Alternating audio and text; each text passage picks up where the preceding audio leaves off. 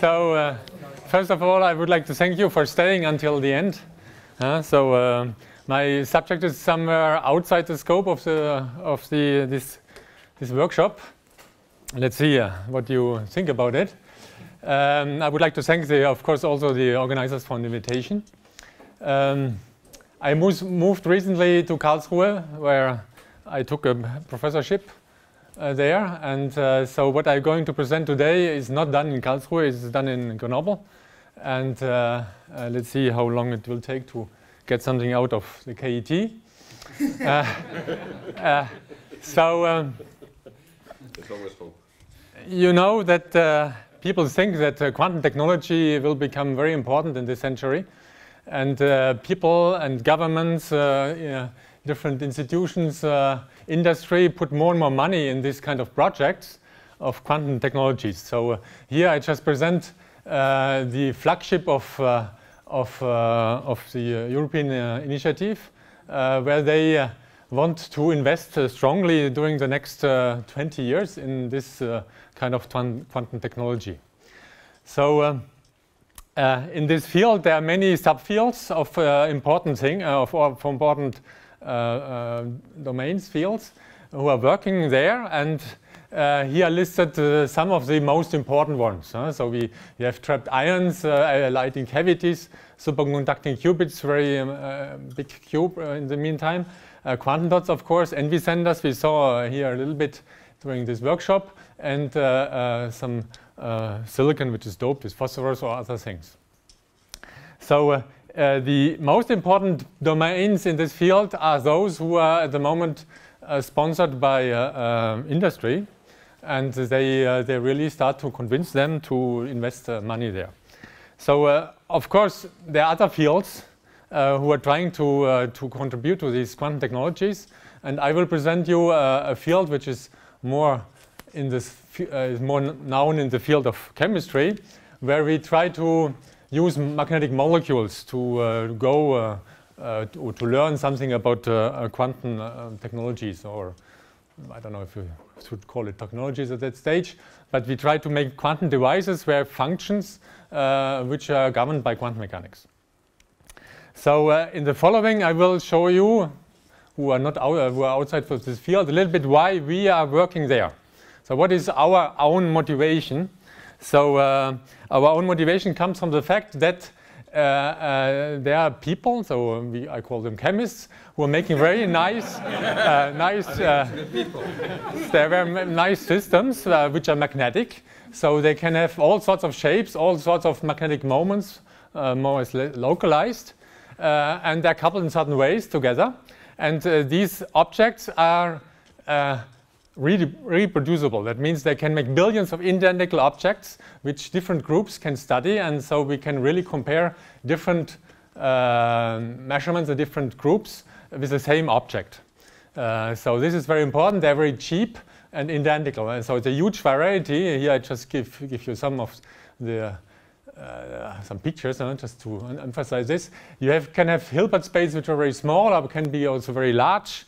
Uh, spin ground state, small, large you can easily add uh, in a controlled way magnetic anisotropy. Uh, you can add spin-orbit coupling or not, depending if you like this. Uh, you can add nuclear spins, which can be nice. You will see this a little bit in this talk. Uh, these objects have very nice quantum properties which have been studied uh, by physicists uh, during the last 15 years, something, which go from tunneling, quantum interference, coherence. So coherence properties for example, you can pin down with two numbers. So this is the T1. The T1 of these systems can be very large at low temperature.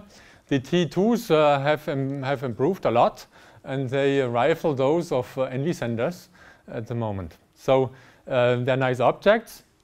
You, as a physicist, you can uh, uh, take the help of the chemist to uh, to modify the molecule. That means for a given property, if you will fall in love with some, some magnetic properties, the chemist can tune now the outside of the molecule. That means he can shield the system in different ways, or he can make functions to the object, which allows you as an experimentalist for, uh, to fabricate your devices. So uh, very important. You can organize them on surfaces Uh, so here is some of these uh, important groups at the moment. Either isolate molecules or you uh, on a certain substrates, or you can make small uh, kind of arrays of these molecules, which you can study. You can interconnect these molecules in all sorts of ways. So here, this was an example of static coupling via ligands, but you can make this switchable. So people use, for example, light to switch uh, molybdenum or iron here as an example from a low spin state to a large spin state. And this then can help you to couple different qubits. For example, if you have here a certain qubit system and you want to couple now this to this guy, you can put here a switchable ion, an iron, which you can switch from the low spin to the high spin, and then you couple uh, these two qubits, for example. You can, this is a rather brutal switch, because when you send light of such a uh, molecule, it will probably decohere the, your qubit. Here are switches which are uh, softer, uh, which uh, you can use to, uh, to switch spins in a softer way. Even more softer would be with electric fields. So people work on, on switches to switch on and off couplings between spins via electric fields. This would be the best solution. It's not yet working. All these uh, uh, systems have nice optical properties. We have seen uh, a talk of NV centers, which are very nice systems. Here there are tons of different systems where you can make all sorts of optical transitions, and these can be read out uh, to get information out of the spin system. Uh, so uh, you can put these molecules in devices and you will see today what we do with a certain molecule in a device. So there's a nice review if you want to see a little bit what has been done in the last 10 years. Uh, um, this review is, uh, is very nice.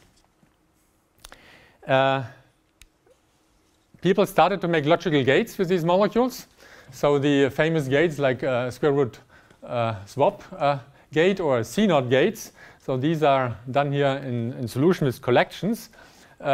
People work on doing this on, on single Uh, molecules. Uh, here using schemes like what is done in superconducting qubit uh, field. And finally, I would like to say that during the last 20 years, there was a lot of theory around. Uh, which uh, is now supporting this field. And uh, concerning quantum technologies, the most quoted paper is here from Daniel after this paper, there were many, many papers in theory which I didn't show you here. Here again, a review article where you can see all these references if you are interested into seeing what has been done since uh, this very first proposal. So in this talk, I would like to pick out this proposal uh, which is 15 years old now and was somewhere a headache for this group. At certain point we quoted it, but nobody did uh, the proposal. And uh, so we uh, tried to struggle some time to, to implement what they proposed. And uh, after 15 years later, at a certain point we can show you that we can do this. Um, Especially, uh, we are focusing down to, to this paper where uh, this has been revisited with a smaller spin. So we, I try to show you that we can implement uh, what has been proposed in, in this very early proposal. Uh, in order to come to this uh, thing, in order to show you that this uh, it wasn't so easy, I will go through these uh, criteria which show you uh, that we can isolate a nice quantum system. So I will pick out one of these nice molecules. How I, I show you how we read them out, uh, single molecules, uh, how we initialize the quantum systems, how we manipulate them, how long we can store information. In the end, the T2s of the system. And then finally, we can make this proposal of, uh, of Leuenberger Loss. So uh, let's start. Uh, in the introduction, I said there are many molecules around. So I will pick out a simple one which, is, which looks like this. So this is a double-decker molecule where, where you have two phthalocyanine molecules here which are keeping in the middle an ion, a rare earth ion. And so you can put all sorts of rare earth ion here. Uh, for this talk, we will take a terbium 3 plus ion. Now, a terbium 3 plus ion has a spin 3, and this spin 3 lives in a 4f shell with, a, with an orbit with an L equals 3. Now for these uh, rare ions, the orbit uh, is very strongly coupled to the spin, which leads to a J equals 6. ground state. Now this J equals 6 ground state sees the chemistry. So sees the ligands, a ligand field, and this is distortion, make a, uh, lifting the degeneracy of the J equals 6 ground state. Uh, so that we get in the uh, real ground state now an Ising spin. So in the uh, ground state, we have plus minus 6 mj plus minus 6. And the first excited state is 600 Kelvin above, and the others are even higher. So this means we have an Ising spin. So this is rather simple for you, an Ising spin here uh, on the ion. Now, this Ising spin has also a nucleus. On the nucleus lives a nuclear spin, which is 3 half. So the nuclear spin is coupled via hyperfine coupling to the electronic spin. Uh, uh, so we have a strong hyperfine coupling.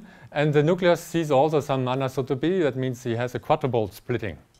This makes that the, the four levels of this nuclear spin is split off with equal uh, with different energies. So we have three different energies to play with our qubit. So this will be our qubit, which we try to read out.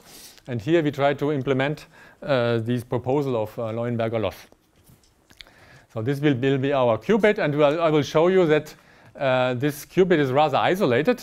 Uh, I show this via the T1, the T, T2 of, uh, of this qubit. So we try to measure one single nuclear spin. Now, how we can read this out? Well, I come from the field of microsquids, where uh, we studied all sort of nanoparticles and more classical stuff. Uh, so these sensors, uh, they can uh, measure small objects of 1,000, 100 spins, 100 to 1,000 spins. Uh, that's not enough to measure a single molecule. So we had to improve this. So one way to improving this was these nanosquid where we replaced the junction, the Josephson junction, by a carbon nanotube. So this detector uh, is, allows you to study a single molecule. But then we showed also that there are other detectors which can uh, study single molecules. And uh, for some non-scientific reason, in the end, we worked more on this than on this system.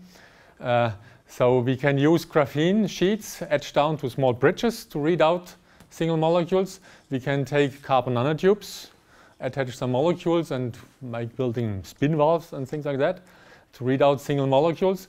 Or what I show you in this talk, we just squeeze the molecule in a junction with a source and a drain, and then we send some current through, and this will help us to read out the spin state, and then in the end, the nuclear spin state. So, last proposal was to put the molecule in a junction. Now, in order to do this, we use a technique which is called electromigration, which has been set up by, by these guys.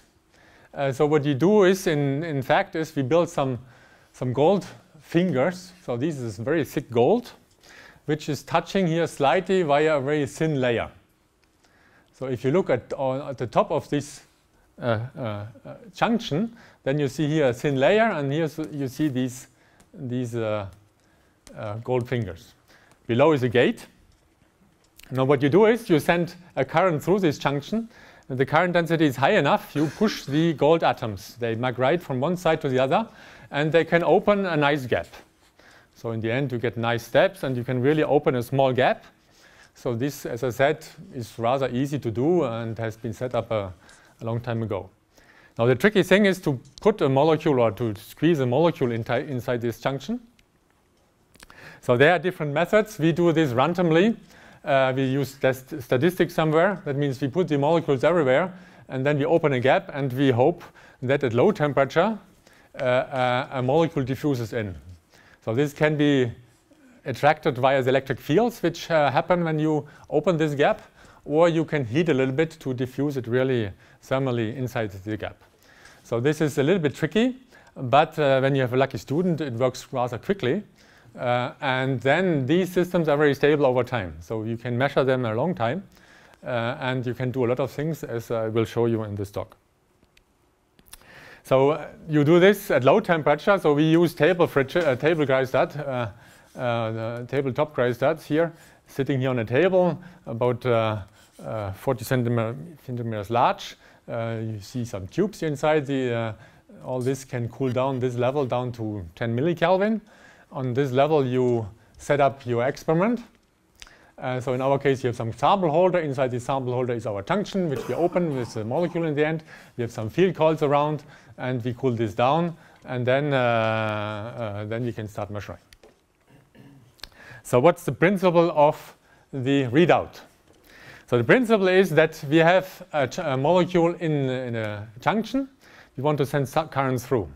Now this is organic. It's not really conducting. Uh, so um, the transmission coefficient between this gold and the molecule is very bad. So the gammas are very small.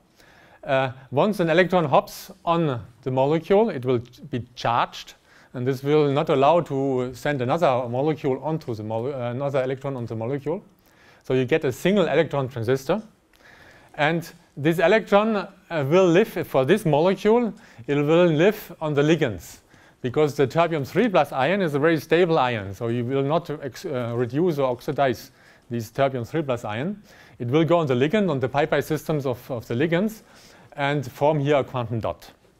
And then the electron goes around. So this is what is sketched, here. You have a quantum dot which is coming from the ligand, and this is connected to source and drain electrodes.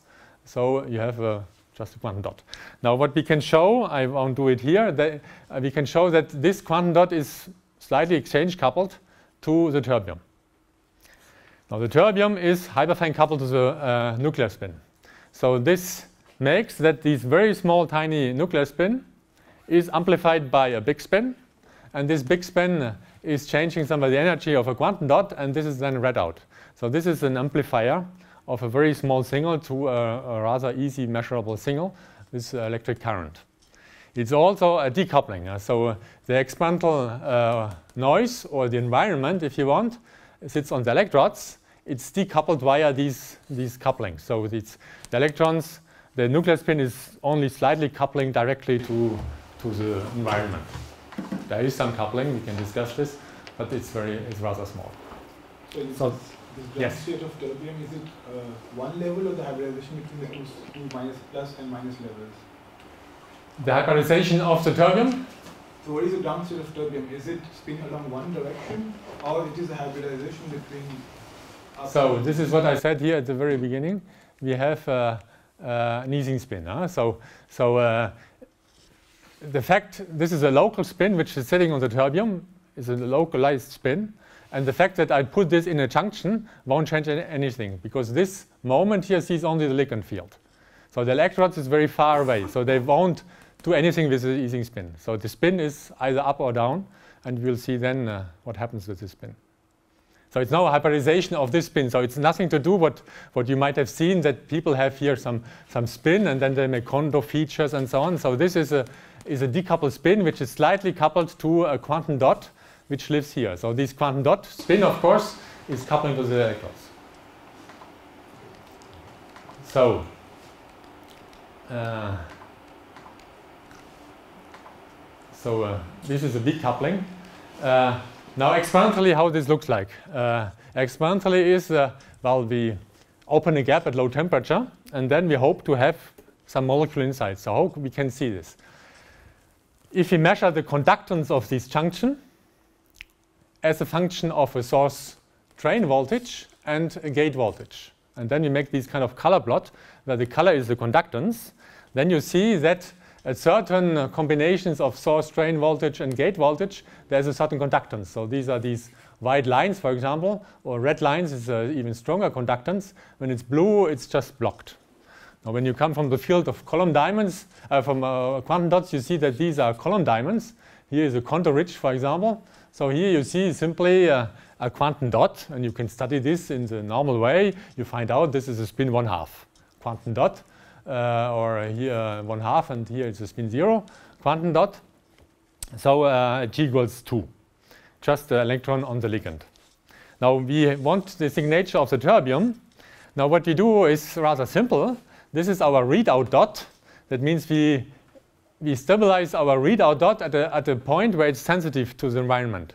That means when I put my system, for example, here at the border between no conductance and high conductance, then when there is any change of energy, this will change the conductance. So this, at that point, my device, my readout dot is very sensitive. So what I expect then is uh, the, if the terbium spin is reversing, that the energy somewhat changes because I said there's some, some exchange coupling uh, which I won't discuss here. And so when the terbium is reversing, I expect a change of conductance which will be a jump of conductance. And then I only have to prove now that the, uh, when I see a jump here that this is really the terbium. So for that, uh, I look again to uh, my uh, uh, terbium spin. So this is the ground state of, of the terbium, so spin up or spin down. And this spin up and spin down has a small mixing here around zero to, due to transverse ligand fields. Now if I put my electronic spin here in this state, I scan here from the left to the right, I get a, a, a tunneling, a Landau-Zener process, here exactly at zero field. Now this was without hyperfine coupling. Exactly at zero field, the spin should reverse. Now if I switch on the hyperfine coupling, you see that this transition, which was at zero, is shifted away from zero. And this will depend on the nuclear spin state. So if the nuclear spin state is 3 half, then my electronic spin has to tunnel at this field. If it's 1 half, then it tunnels here. So, so simply by measuring at what applied field my electronic spin can tunnel, I can find out the nuclear spin. So this is our readout method. We just measure where the electron spin is tunneling, and then at that moment, when this electron spin is tunneling, we know the nuclear spin state. So experimentally, this looks like this. We measure the conductance at a certain working point, and then we scan the applied field. Uh, so we scan here from the left to the right and backwards. And what we expect is a, a small uh, conductance change when the terbium is reversing. So this you repeat many times. And when everything is fine, uh, when you really have a terbium 3 plus ion, you'll find out that you have really only four different fields where the system can reverse. So here we make histograms of these uh, switching fields. We have four only, and the field difference is given by the hyperfine constant. So this without any parameter, we have to find exactly these fields. So this is the case when you have a terbium 3 plus ion, and there is no other ion which will give you this signature. There are no isotopes for terbium. There's only one uh, uh, isotope. so you only have this kind of uh, signature when everything is fine. So once you have this, you can start playing uh, uh, all what I show you in the following. So first we have to initialize our quantum system. Now initialization uh, quantum system is rather simple when you measure it. When you measure a quantum system, you put it in eigenstate. So what we do is we just sweep the field back and forth at a certain rate, and then we measure these steps. Whenever I see a step in conductance, I put a point.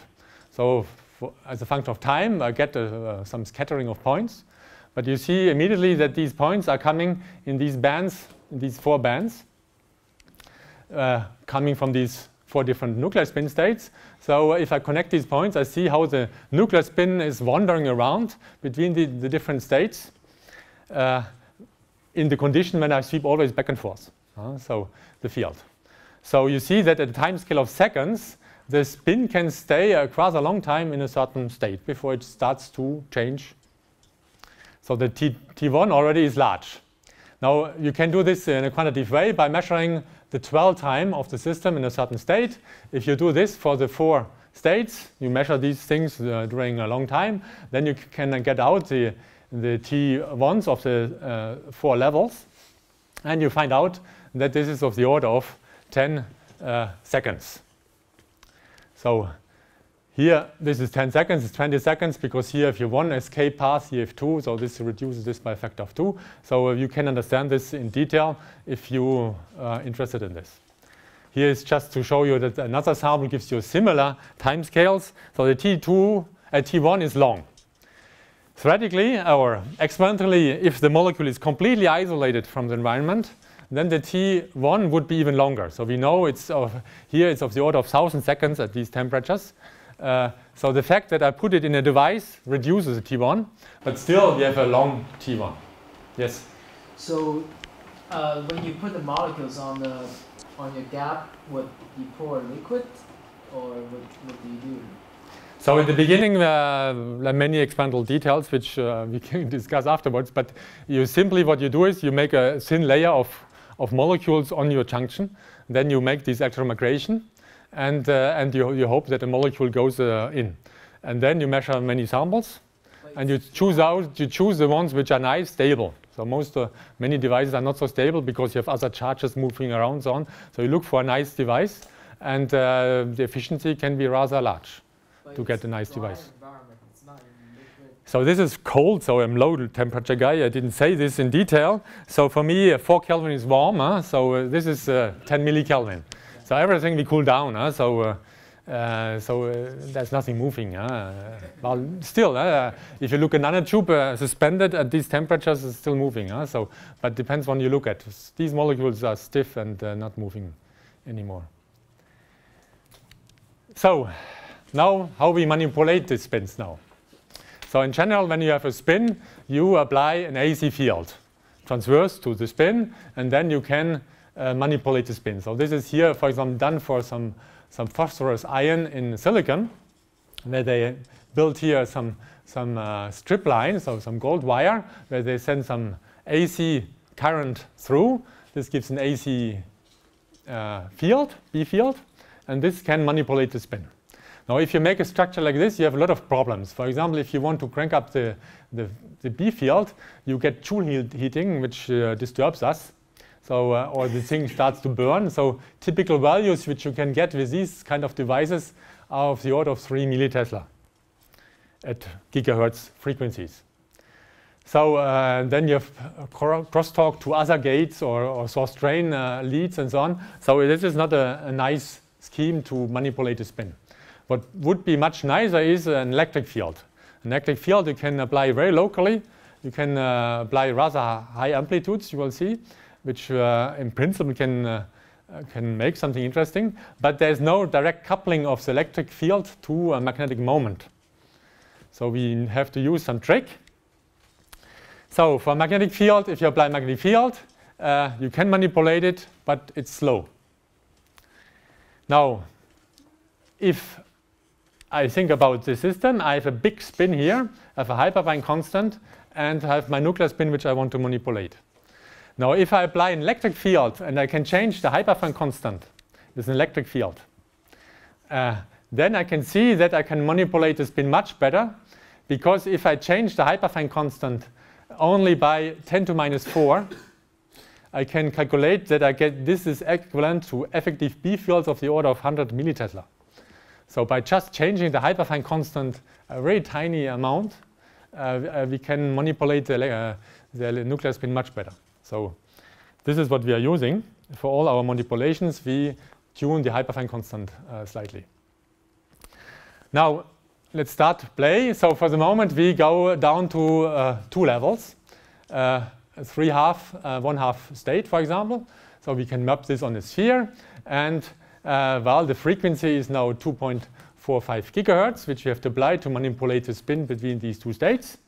So we can uh, define different pulses. For example, pi over 2 pulse would put the spin in superposition between these two states, or pi pulse would uh, just put it in the other state.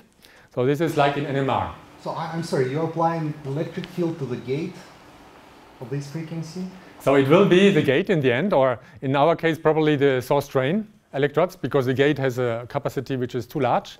And via the source drain electrodes, you can apply rather easily a tiny field. So it's uh, equivalent to milli, uh, millivolt. Huh? So it's a small uh, uh, electric field which you apply, which has a huge effect on, on the system. So uh, now uh, how we do this experimentally? Well, I said that we initialize our system by just measuring it. So if I measure my system until I find it in the three half state, I say this is now the initial state, and then I apply a pulse, uh, a pulse, uh, which has a certain amplitude and a certain length. And this will manipulate my spin, depending on the amplitude and the length, to a certain mixture or a reverse spin. And then I measure it. So when I measure then the spin, then I will find either the spin in, in the same state, 3 half, or in another one. So then I have to make this statistically. So I have to repeat this many times and I measure the probability to find the spin in another state as a function of amplitude or length, or both.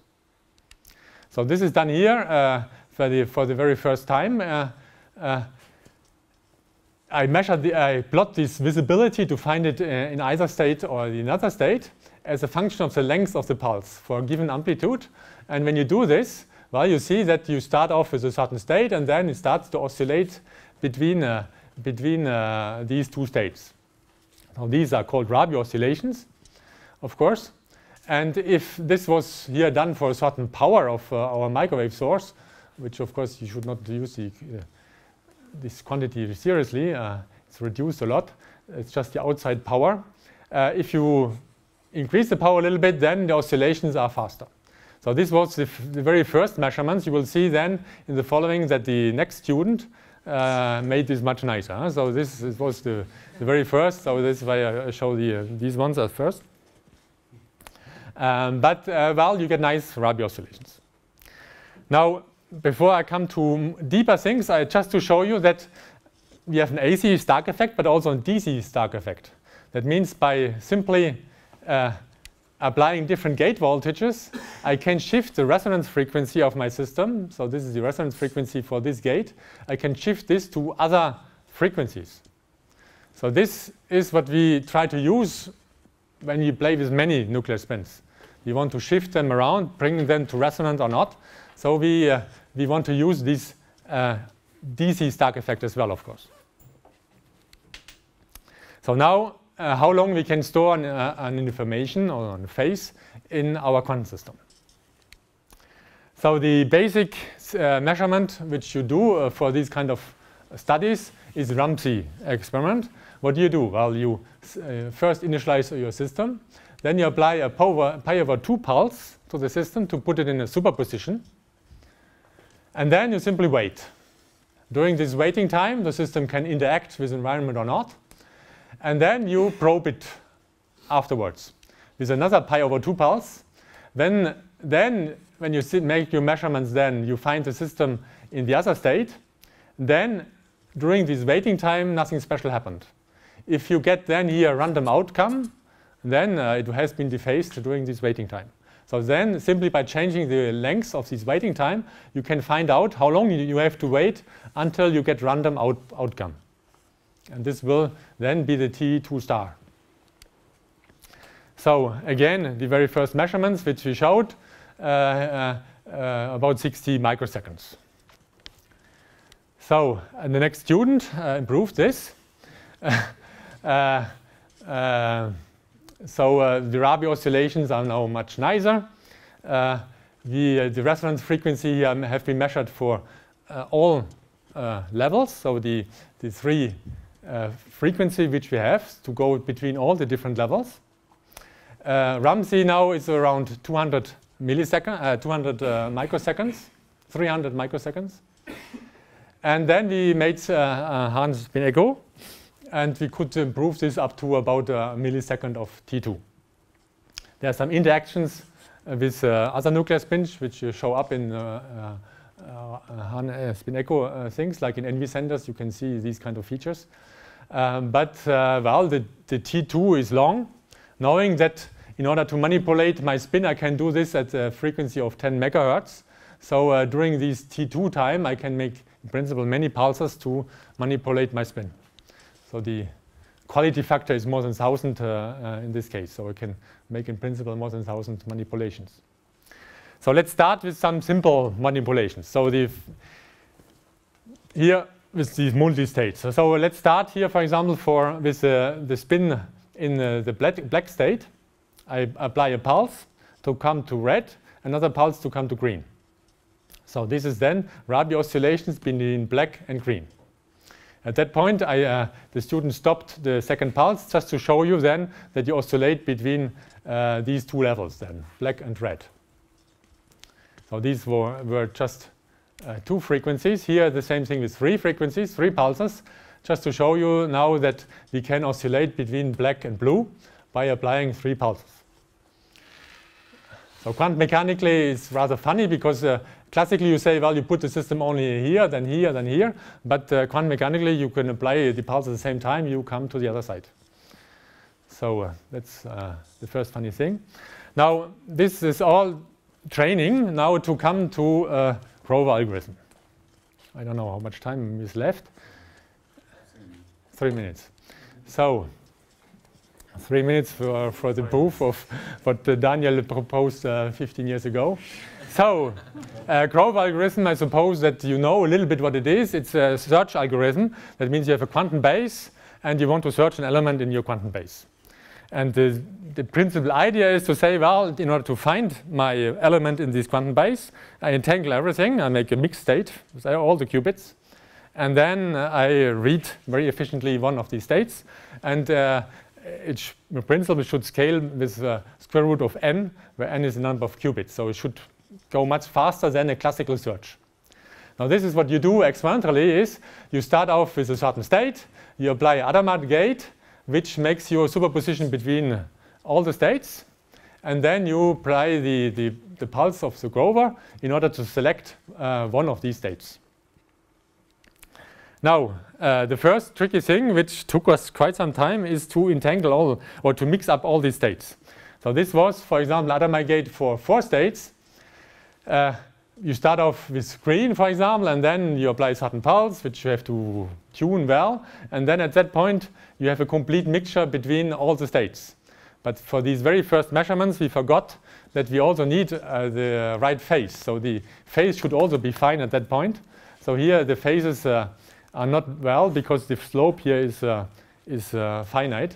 So this Hadamard gate didn't work because after this we applied the search pulse and we never found our state anymore. At a certain point we went, went, went back to theory and we found out that we missed uh, a crucial phase.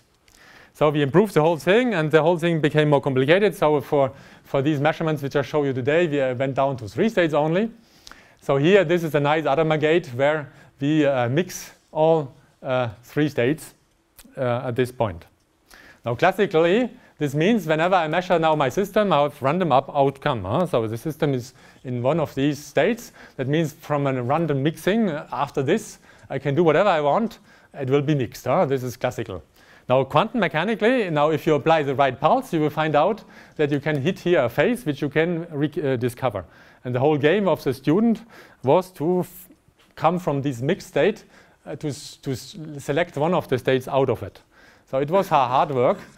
And uh, after a certain time, he, he arrived at the stage. So here, he wanted to select the green one. So you complete the mixed state, you start, and then uh, you get the green one out. So the green one was rather easy. The red one uh, worked also a certain time later. The black one needed more time. At a certain point, he got it out also from this mixture. So there's a lot of things hidden behind, uh, which I don't show you, which uh, needed uh, a three-year PhD. Huh? So to get out three states, so it wasn't uh, very efficient, but uh, it was done the first time. And as I said, this was a challenge to apply uh, this proposal to a, a, small system and to see already how complicated this is. So, what is the flavor of the of the things you had to overcome? The the, the difficulties. Yeah. The difficulties is. Um, on the on the one hand, you need uh, different generators where you where you can control the phases of microwaves. So this was a, a small problem. The other problem which we face at that stage is that uh, in order to read out the nuclear spin, it takes one second. So in one second, I know nuclear spin is in this state, but I need statistics. So I had to repeat. I have to repeat this many times. So if I have a readout of one second, this makes that this whole curve here is for a few weeks. Huh?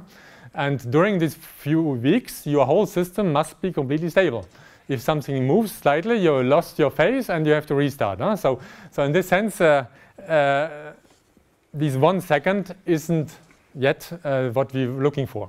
Now, just by the way, if you use an NV center and you want to use an NV center and read out the nuclear spin, they're also yet only at the scale of one second. I need a second to get out the nuclear spin. So we have to go much faster. With other qubit systems, this is possible, and we want to show in the next years that we can do this also much faster. So we have to go down below microseconds to read out, and then everything is more, more easy. Huh? So here we need the stability over weeks, which is for a nano-sized system not so easy. Huh? So And that's, that was the troublemaker. And then the other thing is the student had to understand the whole thing first. He made some mistakes and then uh, it's all computer controlled. And so, uh, yeah, sometimes he missed something and uh, the final result came not, not out. And um, quantum mechanics is good. Huh? You can be used to test your setups. Huh? So if you don't get out the state, there's something wrong. Huh? So, we did. so anyway, so conclusion is that we can uh, play now with these uh, kind of systems. I showed you a very simple one, a nuclear spin. Uh, we are working with more complicated ones. I didn't show you because it's not yet well advanced, but we hope to improve this in, in future. So I hope that uh, we, we can rival other systems here at a certain stage. Uh, the advantage of these systems, as I said, is that we can make billions of them completely identical. The disadvantage of these systems at the moment is that they're so tiny that they're very tricky to, uh, to handle. So these systems are millimeter scaled uh, size, so, uh, so it's rather easy to, to see them and to do something with them. Uh, here, use a nanometer, applying different gates and so on is more complicated. I have to thank different people who have been working in our group during the last 10 years. The student uh, who started uh, these measurements on what I showed you was uh, Stefan Thiele. And now Clément Godfrin continued this, this research. I have to thank many chemists who have been working with me for the talk today. it was only the group of Mario Ruben who made this double decker. But as I said, we, we studied many uh, other things. By the way, this guy is called Grover, if you look on the internet, and he has much more citations than and then uh, a Grove algorithm, for example. Huh? So, so uh, anyway, so I want to thank different fundings which I had over the years, and of course you for your attention.